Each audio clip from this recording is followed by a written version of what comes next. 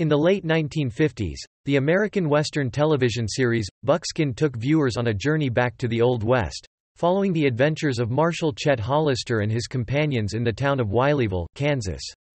In this, Then and Now, retrospective, we'll take a look at the actors who graced the screens of the 1950s and compare their roles on Buckskin with their lives and careers today. Join us as we revisit the past and discover how time has shaped the lives and careers of these talented actors.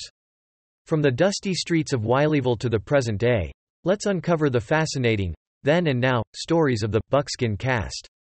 Stay tuned. 1. Tom Nolan as Marshal Chet Hollister. Tom Nolan was born on January 15, 1930, and would have been 93 years old today. He's best remembered for his portrayal of Marshal Chet Hollister in the American Western series, Buckskin.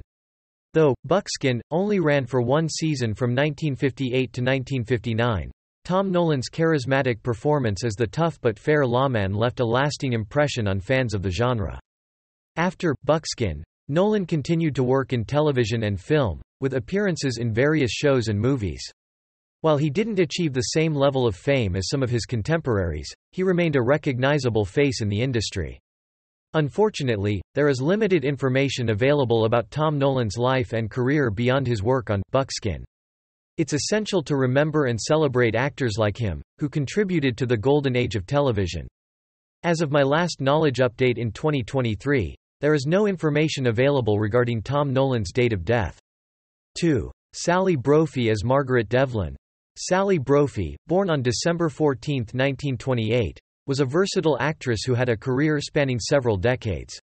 She was best known for her role as Margaret Devlin in Buckskin. Her portrayal of the spirited and resourceful character added depth to the show's ensemble cast. Sally Brophy's career extended beyond her work in Buckskin. She appeared in numerous television shows and films during the 1950s and 1960s. While she didn't reach the pinnacle of Hollywood stardom, her talent and dedication to her craft earned her respect within the industry. Sally Brophy passed away on September 18, 2007, at the age of 78. She left behind a legacy of memorable performances, and her contributions to the world of entertainment continue to be appreciated by fans of classic television. 3. Mike Road as Jed. Mike Road, born on March 18, 1918, had a diverse career in the entertainment industry. He played the character Jed in Buckskin, contributing his talent to the show's success. In addition to his role in Buckskin, Mike Road had a prolific voice acting career. He lent his voice to various animated series, including the iconic Jonny Quest, where he voiced the character Race Bannon. His work in animation earned him recognition and a dedicated fanbase. Mike Road passed away on April 14, 2013, at the age of 95. He is remembered not only for his on-screen and voice acting work but also for his contributions to the world of animation. 4. Paul Carr as Tim Potter. Paul Carr was born on February 1, 1934. He would have been 89 years old if he were with us today. While Paul Carr's career in Hollywood spanned several decades, one of his most notable roles was as Tim Potter in the Western series, Buckskin. His portrayal of the lovable and comedic character endeared him to audiences during the show's single-season run in 1958–1959. Beyond, Buckskin, Paul Carr made numerous appearances in popular TV series and films of the time. He was known for his versatility and ability to bring depth to various roles. His dedication to his craft and undeniable talent made him a respected figure in the entertainment industry. Tragically, Paul Carr passed away on February 17, 2006, at the age of 72. His contributions to television and film continue to be celebrated by fans of classic Hollywood. 5. Carl Harbaugh as Del Sharbutt. Carl Harbaugh, born on December 10, 1911, had a long and varied career in the entertainment world. He is perhaps best remembered for his role as Del Sharbutt in Buckskin. His character brought humor and wit to the show, providing comic relief amidst the challenges faced by the residents of Wileyville, Kansas. Carl Harbaugh's career extended beyond his work on Buckskin. He appeared in various films and television series, showcasing his talent as a character actor. While he may not have achieved the same level of fame as leading Hollywood stars, his contributions to the industry were valued. Regrettably, Carl Harbaugh's journey came to an end on June 12, 1978, when he passed away at the age of 66.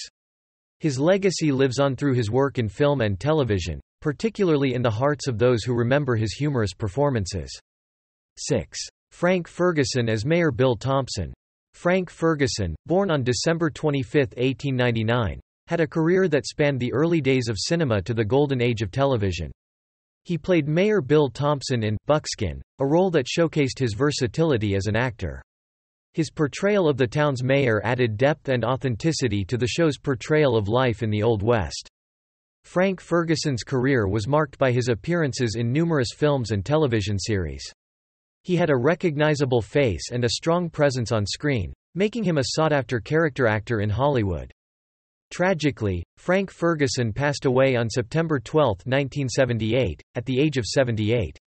His contributions to the entertainment industry, which included over 300 film and television credits, left an indelible mark on the world of entertainment.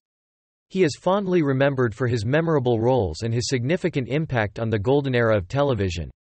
7. Myron Healy as Wade Burch. Myron Healy was born on June 8, 1923. If he were still with us today, he would be 100 years old. He is best remembered for his role as Wade Burch in the Western series, Buckskin.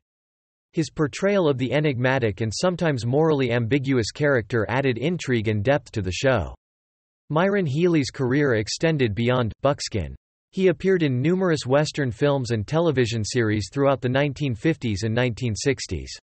He was often cast in roles that showcased his rugged charm and versatility as an actor. Tragically, Myron Healy passed away on December 21, 2005, at the age of 82. He left behind a legacy of memorable performances in the Western genre, and his contributions to the world of entertainment are celebrated by fans of classic television and film. And there you have it, the captivating, then and now, journey of the buckskin actors. Their stories are a testament to the enduring power of the Old West and the talent that brought it to life. We hope you've enjoyed this trip down memory lane. If you found this video fascinating, don't forget to give it a thumbs up and hit that subscribe button below. By subscribing, you'll stay updated on all our, then and now, explorations of your favorite stars and shows from the past. But the journey doesn't end here. We want to hear from you. Share your thoughts and memories of Buckskin or any other classic TV shows in the comments below. Did you have a favorite character or episode? Let us know. Your feedback fuels our passion for exploring the past, and your comments make this community thrive. So, Keep those discussions alive and share your love for classic television with fellow fans.